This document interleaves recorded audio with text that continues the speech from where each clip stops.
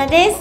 ついに明日はセブンリスペットのライブです。わー。皆さん準備はできてますか？でもずず何時からだったっけ？明日は日本時間。6時ですよ皆さん。生放送だよね、うん、皆さんぜひぜひ6時から一緒に楽しみましょう。そして内容はどういうことをやるんだろう？新曲2曲を発表します。MV を見れるんだよね新しいやつ。そして本当に7人で撮った。新曲だよね。もう音もできてるし、うん、あとは MV も完成されてるんだよね、うん、なので明日みんなで一緒に見てみましょう。でそしてグッズもさこの間発売されてたよね。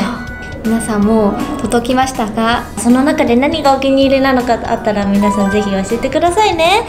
そしてライブの時に一緒にタオルとか T シャツ着ながら一緒に盛り上がりたいね。そして、うん、その2曲だけじゃなくて、うん、私たちこの7人の2年間の振り返りの動画もありますよ、うん、私たちもまだ見てないよね。そう。どういう動画なんだろう。楽しみ。そしてさらに Q&A のコーナーもありますので皆さん一緒に盛り上がりましょう。そして台湾と日本別々今さいるじゃない私たち、うんうん、あの社長と副社長は日本で三円台湾ガールズは台湾にいるよね、うん、今は日本と台湾に別々にいるけど、うん、今回ですね一緒にいるように見えるらしいよ。じゃあ特殊技術も使われるってことだね、うん、どんな感じなんだろうね。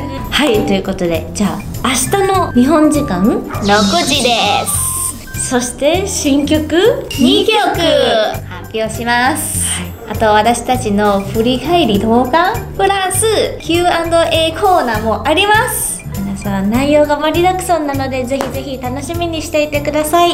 でこの時間はだいたい1時間半くらいかかります。その間の時間は、うん、もう存分に盛り上がりましょう。で私たち1月23日以降それぞれ別の道に進むけどでも明日みんなでこうやって視聴者さん皆さんとファンの皆さんと一緒に最高の思い出を作れるということがとっても嬉しいです。